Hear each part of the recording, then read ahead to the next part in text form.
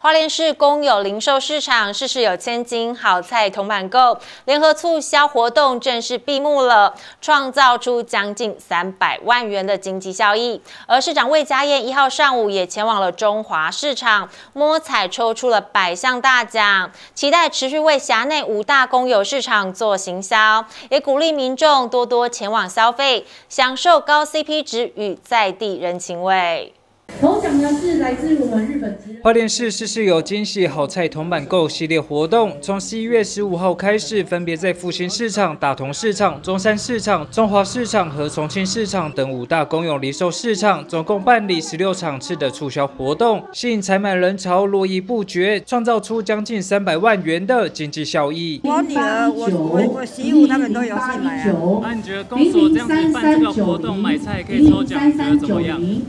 零零四五二八，会不会让你想要花更多钱？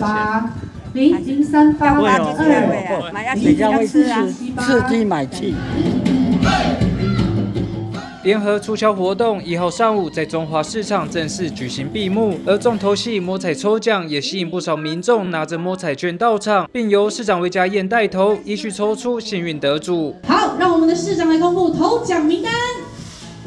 零零二六三六。张树丹，大家的回响都非常的踊跃，那也希望说未来我们活动持续能够办下去后，那今天也要非常感谢我们除了在地的我们的郑元璋主委以及我们所有的。呃，市场的主委都有来到我们中华市场共襄盛举后，那今天也摸出呃前三名的一个大奖后，那未来我们会持续办理这样的活动，那也希望我们能够跟经济部后来争取更多的经费来替市场。争取我们更多的一些建设哈，那不管是摊招还是我们的一些市场的一个改造计划后，那也希望说后我们呃市民后都能够到我们公有市场后，能够早上有早市，那下午有午市后。那也希望大家能够到市场做采买后，活动摸彩中奖名单将会在十二月四号公告于各市场公布栏以及花莲市公所市场一直通网站。中奖者需在十二月十八号之前携带存值联及国民身份证前往重庆市场二楼市场管理所办理兑奖。